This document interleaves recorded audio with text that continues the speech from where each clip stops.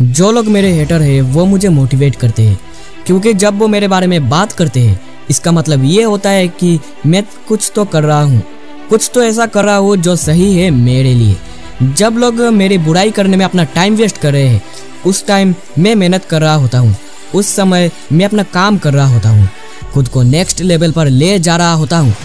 उनको बकवास करने दो। उनको पीठ पीछे मेरी बुराई करने दो। वो अपना काम कर रहे हैं और मैं अपना काम वो लोग दूसरे की हर चीज़ पर, हर काम पर नज़र रखते हैं और मैं अपने ऊपर, अपने एम के ऊपर नज़र रखता हूँ। और ऐसा करते करते ही एक टाइम ऐसा आएगा, जब बुराई करने वाले मुझसे बहुत पीछे छूट जाएँगे। उनमें और मुझमें बड़ा अंतर आ जाएगा।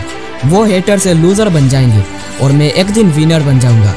मैं उनकी कही गई हर एक बात को गलत साबित कर दूँगा।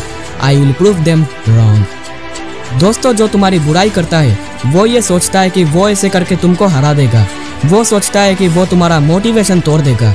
वो सोचता है कि वो कहेगा कि तुम किसी काम के नहीं हो तो तुम मान लोगे। तो ये उनकी बहुत बड़ी गलत फहमी है।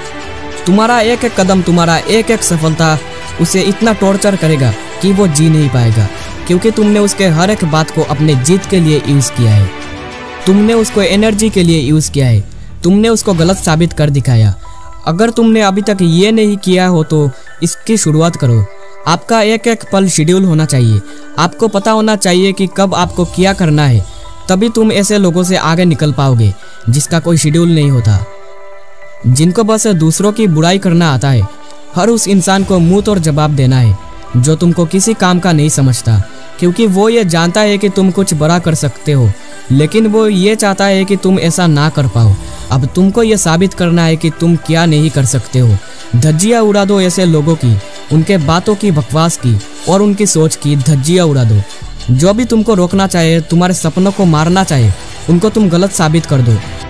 जब आप सबसे अलग होता है, तब आपकी बुराई ही होती है। आप लोगों की आँखों में बहुत चुकते हो। जब आप कुछ बड़ा करते हो तो आपका विरोध होता है। अपनों को ही आप खटकने लगते हो। जब आप कुछ सपना देखते हो तो मज़ाक बनाया जाता है। अब आपको इसके लिए रेडी रहना है। क्योंकि जब सही टाइम आएगा, तब आपके मज़ाक बनाने वालों का खुद एक मज़ाक बन चुका होगा और उनके हाथ में कुछ नहीं होगा। लेकिन आपके हाथ में होगा आपका सपना, कामयाब और सब कुछ होगा आपके हाथ में। आशा करता हूँ ये दो तीन मिनट का वीडियो आपको कुछ मोटिवेट करा होगा।